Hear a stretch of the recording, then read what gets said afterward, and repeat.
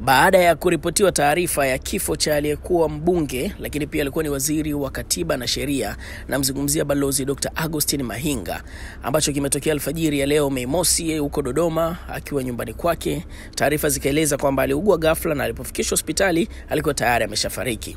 Sasa tumeshuhudia watu mbalimbali wakiwemo viongozi wa siasa, wakiwemo mawaziri, wakiwemo wabunge na watu wa karibu wakimlilia na kuandika ujumbe namna jinsi ambavyo alikuwa akiishi nao vizuri na jinsi walivyomfahamu hapo awali.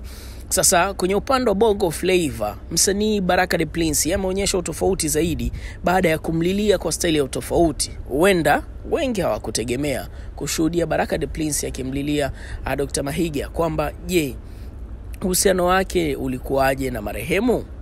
Baraka kupitia ukurasa wake wa Instagram ameeleza jinsi ambavyo alifahamiana na marehemu na masikitiko yake kutokana na kifo hichi ambacho kimetokea.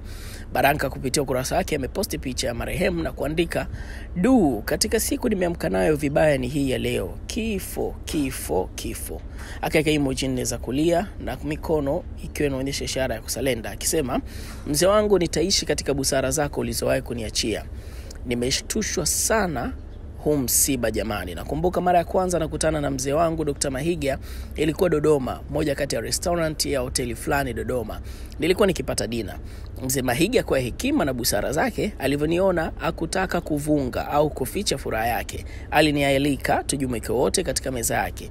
Nami siku sita nikasogea katika meza yake. Cha kwanza aliniambia yeye siyo shabiki sana wa miziki ya kidunia kwa maana ya Bongo Flava, lakini yeye ni shabiki mkubwa wa mziki wangu kwa kuwa huu ninaimba mziki tulivu na wenye maadili.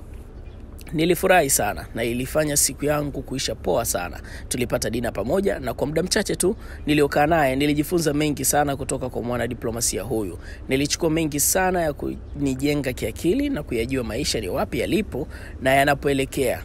Kikubwa nakumbuka aliniambia, Baraka kijana wangu, mafanikio ya kweli yapo mbali sana, na katika maisha yako usipende shortcut way. Hata kama utafanikiwa, ila mafanikio yako hayatakuwa imara na kudumu.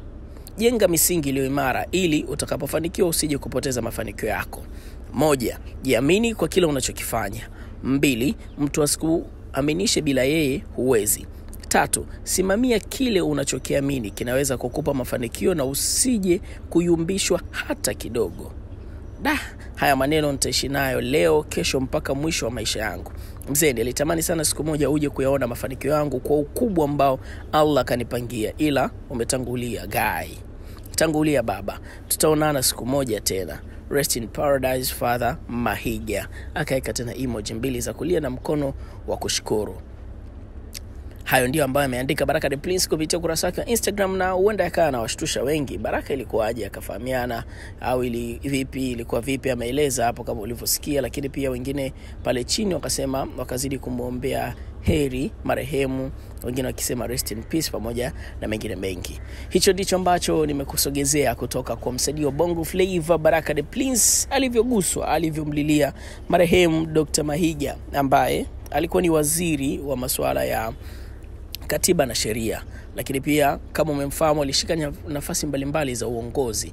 Pia umepata update hiyo kupitia Instagram yetu, lakini pia endelea kukaa karibu na sisi kwa taarifa nyingine zaidi kuhusiana na maziko na mambo mengine ambayo usiyoyafahamu kuhusiana na msiba huu.